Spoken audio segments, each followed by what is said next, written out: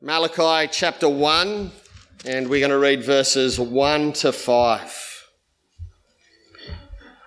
Everyone should know where it is. End of the Old Testament, page 849. An oracle, the word of the Lord to Israel through Malachi.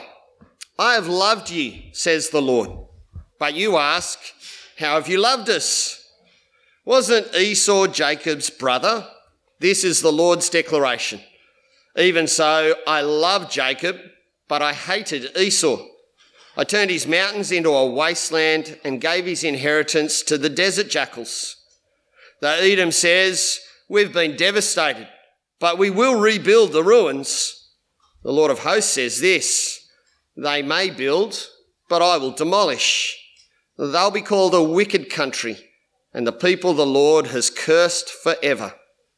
Your own eyes will see this, and you yourselves will say, The Lord is great, even beyond the borders of Israel. This is the word of the Lord. Thanks be to God.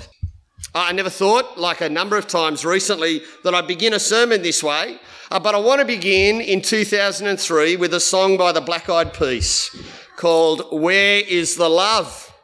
Now, let me admit, I actually really like this song. Uh, I really like it. Uh, it's probably the only song I like from them. Uh, but it really is, a, I think, a really terrific observation that there is a distinct lack of love in the world. And uh, I, I, admit it, I'm a softie. Every time I watch the video clip or see it, there is at least one moment where I get tears in my eyes. Uh, it's a world full of racism. It's a world full of misinformation, violence, and pain. And in that kind of world, the Black Eyed Peas ask, Where is the love? And they actually say there needs to be more love. Uh, the world needs to be a better place where love is more evident, obvious, and practical. Uh, the chorus in particular expresses that. Now, if I was Mr. Bailey, I could rap this, but I can't, so I won't. Uh, Father, Father, Father, help us. Send some guidance from above. Because people got me, got me questioning where is the love? Now, I don't know about you, but I suspect as one of God's mob, you might have sung that kind of line at some point in your life. As one of God's mob, have you ever looked around at your world and wondered, where is the love of God for his people? As one of God's mob, do you ever doubt that God actually loves you, one of his people? And as you think about that, have you ever thought, well, if God doesn't really love me, if it's all just lip service, perhaps I don't need to give him the devotion he deserves. I mean, if he's not going to love me, why should I love him? Well, let me reassure you, uh, God's mob have been here before, many a time. And Malachi speaks to a time like this. Let me pray, and we're going to look at it together. Father, thank you for your word. I thank you for people we know nothing about, like Malachi, except that they spoke your word to a people who are asking, Where's the love? And you spoke through them in reassurance, in confrontation, in deep, committed, relentless love. Father, help us to hear those words today as your people. In Jesus' name. Amen. I'm at point two on the outline an oracle, the word of the Lord to Israel through Malachi. We have an oracle. Literally, it's a burden. Uh, it's from the Lord. It's to Israel, spoken through Malachi. Well done, Bernard. You've just said the same thing twice.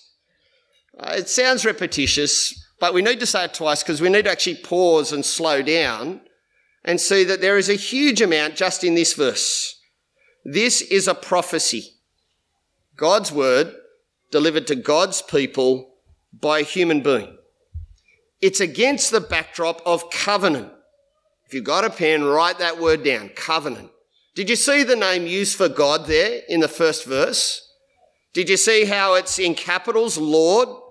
It's his covenant name, the name that he has for his mob and that his mob have for him. Uh, covenant is a very simple thing. It's a binding agreement between two or more people. And there are obligations on both sides. And God has made a covenant with a man called Abraham and his family. Remember them?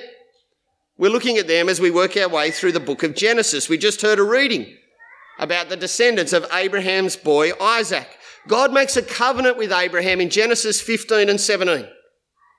God says, Abraham, you're mine. I am relentlessly committed to you. And Abraham responds by saying, You're mine, God. I am relentlessly committed to you. And the reason God does this is because he's committed to his broken world. Because through Abraham and through Abraham's mob, God's going to reverse the curse and bring his blessing back to a broken world. That covenant passes to Abraham's son Isaac, and we heard about that as Haley read from Genesis 25, from Isaac's son, uh, from Isaac to his son Jacob, onto their descendants Israel. They meet God as a huge mob, over a million, at Mount Sinai. God's just saved his people from slavery in Egypt. Remember, we gather on the front lawn each year to remember that moment? And as he saved them from slavery, he brings them to himself. And at Mount Sinai, Genesis 15 and 17 are replayed, but not just with Abraham, but with over a million people. I'm committed to you. You're my mob. I am relentless in this commitment. And they say very clearly, We're committed to you, God. We will be just as relentless. In fact, we're going to do the job you've given us. Exodus 19, 1 to 8. We're going to show you to the world by obeying you.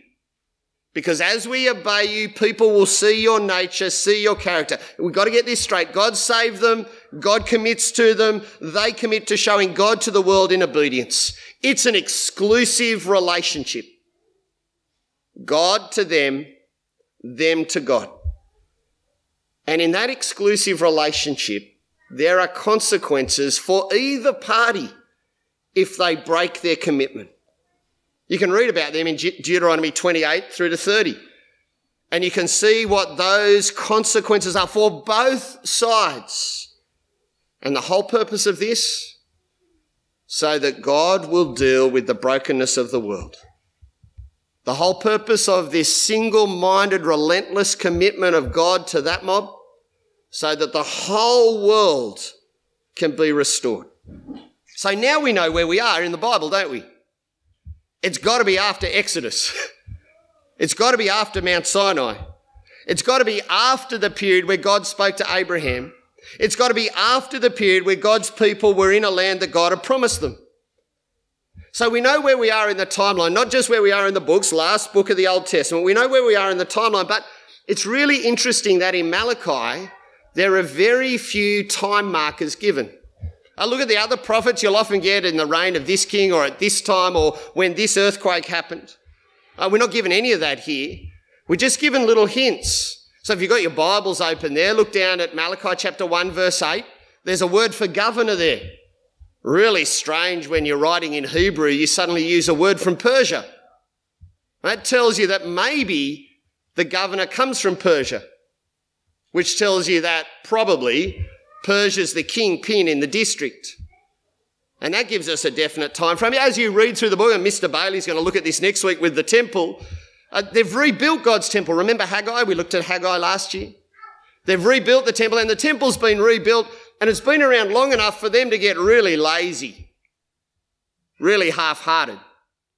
So now we know we're at least after Exodus, at a time when Persia is ruling the world, and the temple's been built, that's 516 BC. And we know that God's people have been back in the land long enough to get lazy. And as we'll see today, to start doubting God's love. Uh, I think I've got a marker here. Yeah, you can't really see it really well there, but the last bloke standing there, right there at the end between 500 and 400 BC, that's Malachi.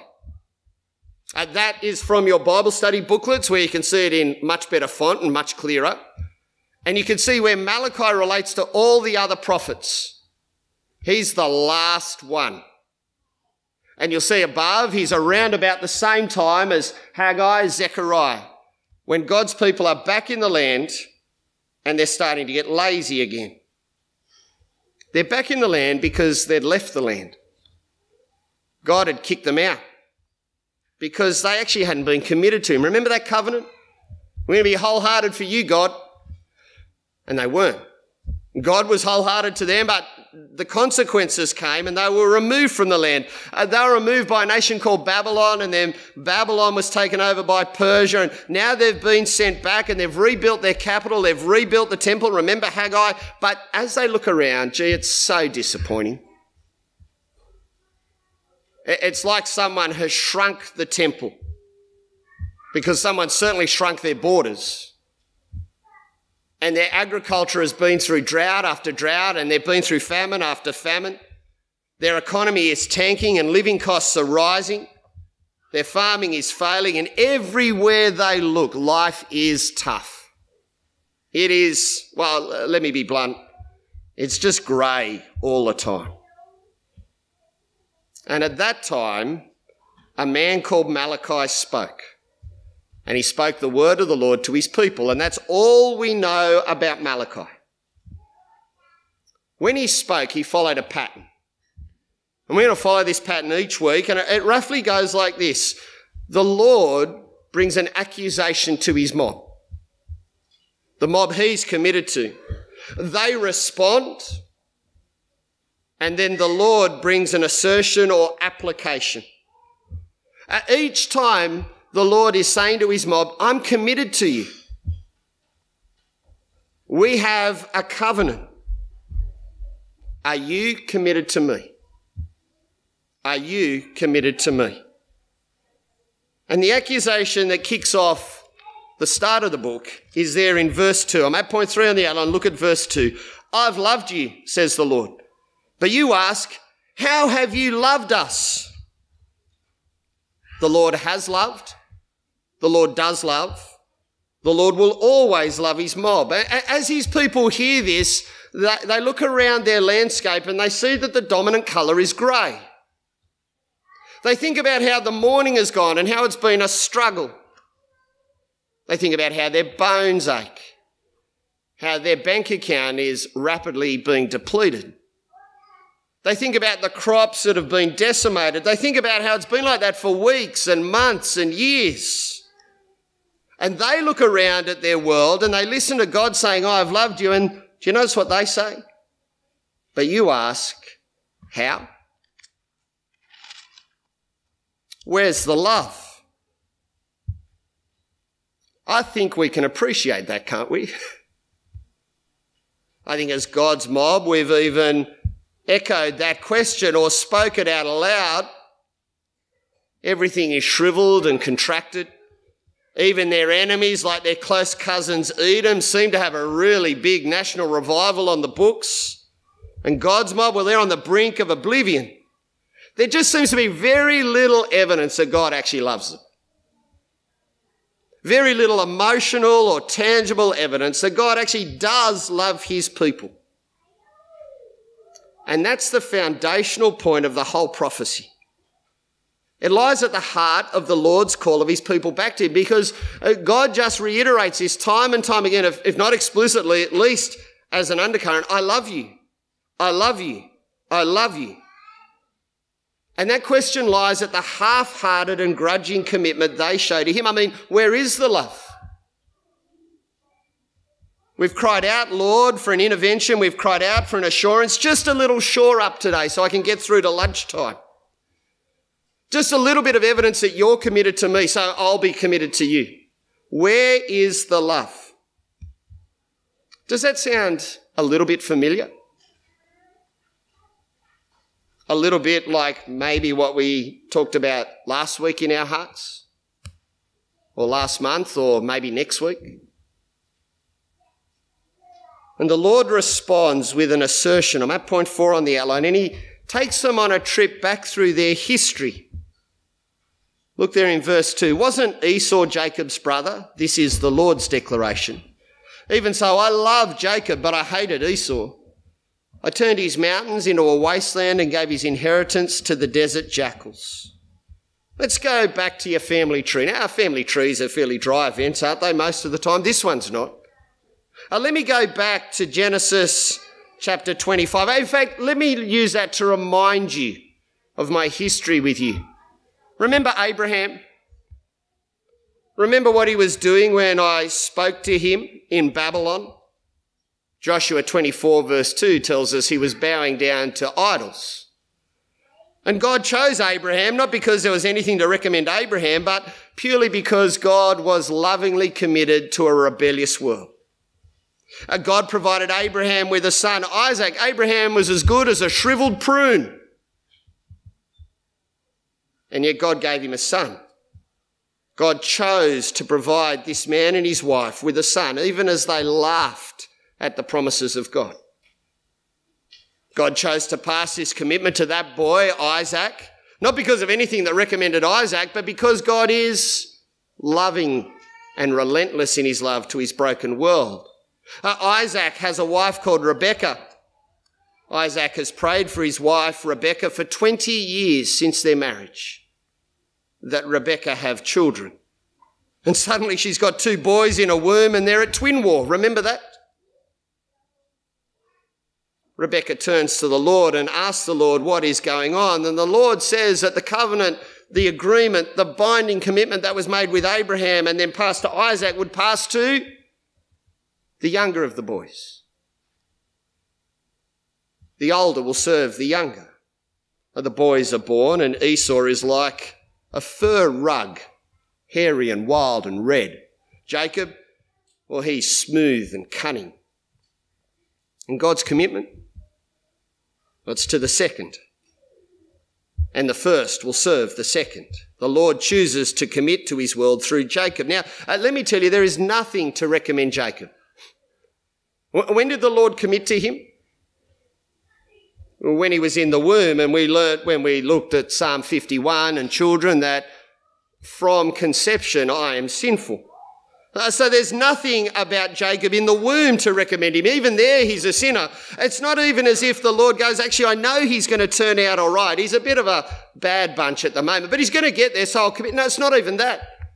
Because Jacob remains a conniving grub the rest of his life.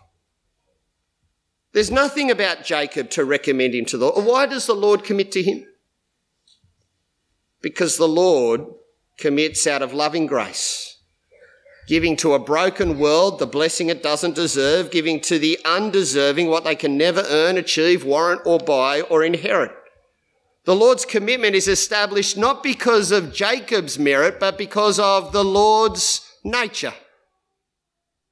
His gracious, relentless, generous, persistent love for a world that consistently rejects him. And it confounds our logic, doesn't it? But it displays his nature. And that's the environment to grasp those hard words. Did you see them there? Those hard words in verses 2 and 3. I love Jacob, but I hated Esau. Uh, we, we mustn't understand these words through our emotions, through how we use words like this, through our psychology. Now, there is emotion here, but it's not emotional language. And we mustn't understand them either as dogmatic. Uh, there's no turning back from these words uh, because we know that someone from every tribe, language, and tongue will be in heaven, even people from Edom and Esau. No, these words are covenant words. I've committed to Jacob and I've not committed to Esau. I've covenanted with Jacob and I've not covenanted with Esau. Now, uh, to grasp a little bit of that, think about the imagery of marriage. That's the image actually God uses for the rest of the Bible to describe this, isn't it? This covenant. Uh, when a man and a woman covenant in marriage, they do so to each other exclusively to the exclusion of everyone else. And the marriage service makes that clear. Does that mean they hate everyone else? No, but everyone else is excluded because they are committed to each other, to the exclusion of all. The Lord loves his mob. Just look at his commitment to Jacob. The Lord loves his people, not because they're more worthy, more lovely, more deserving, but because he chose to in his nature to be gracious and loving to a world that has rejected him. And the Lord does this for the benefit of the world. In fact, the mere fact that Jacob can stand there and question God is proof, isn't it? Because they're still there, and where's Esau and his descendants called Edom? Well, look at what the Lord has done to them. I turned his mountains into a wasteland and gave his inheritance to the desert jackals. When God's people were taken away by Babylon, who was there standing at the city gates cheering? It was Esau and Edom.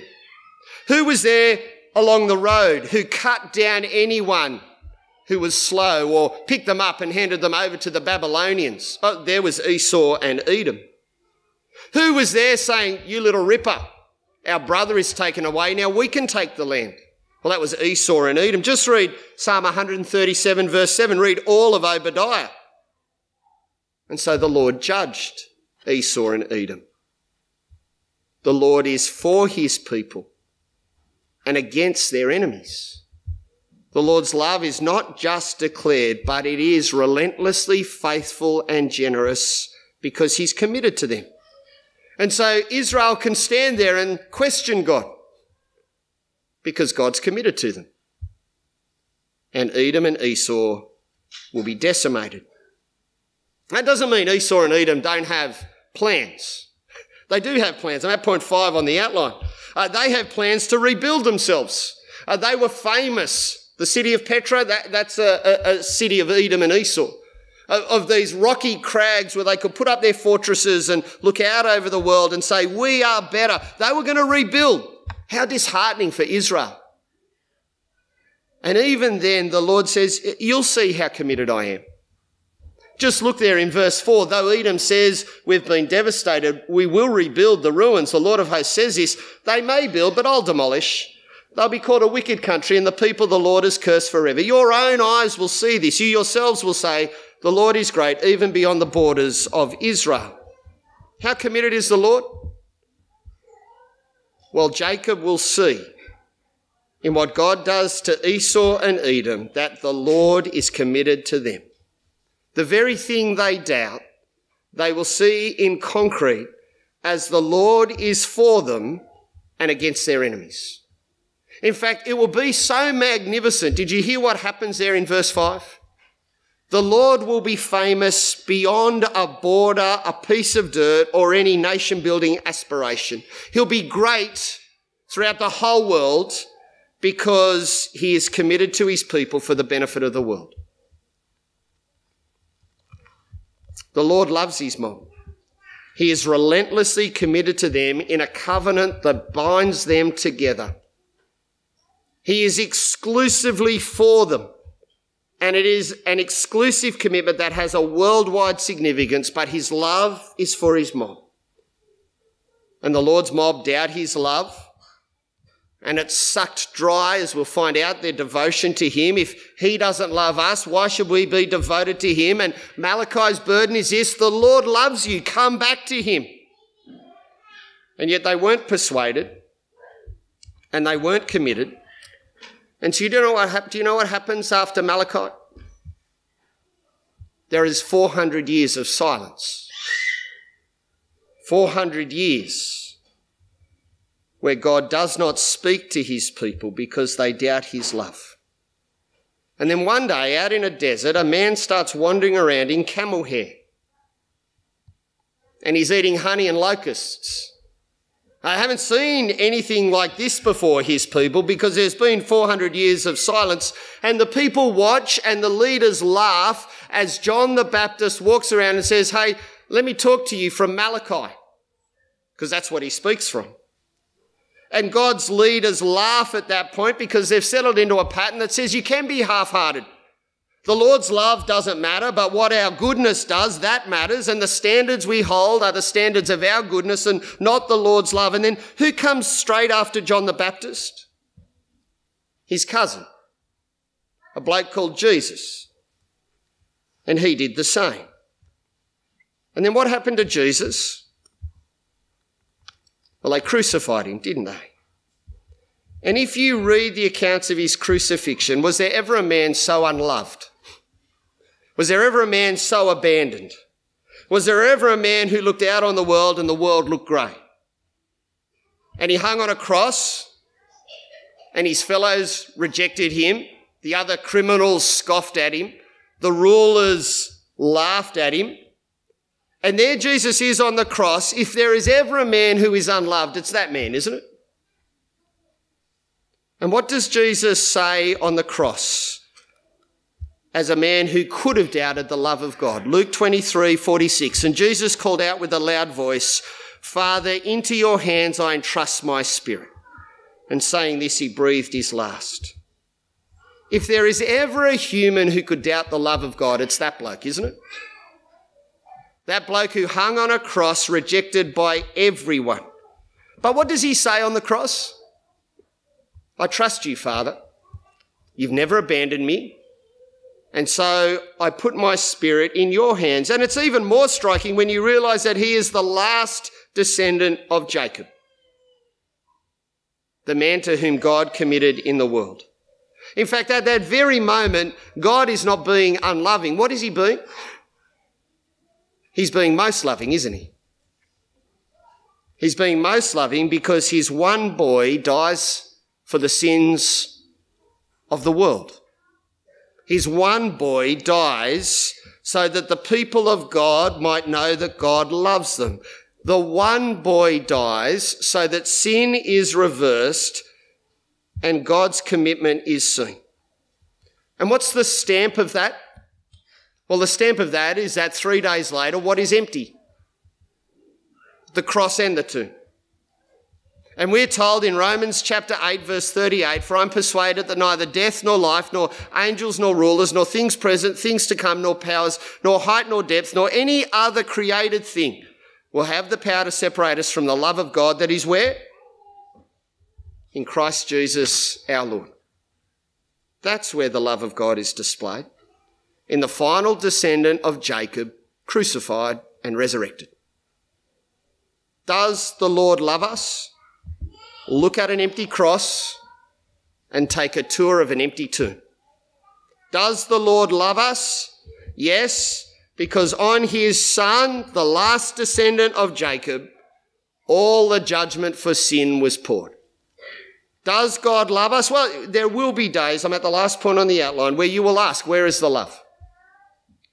You might not write a song about it, you might not have a video clip about it, but there are days where we want something miraculous. There are days that are grey when we want something to come from the blue sky and say, I love you. I want some intervention from you, Father.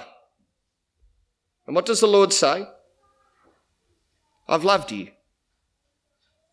Just look at the empty cross, take a tour of the empty tomb, and behold the Lord Jesus Christ. I have loved you. You are loved by the Lord in God's people.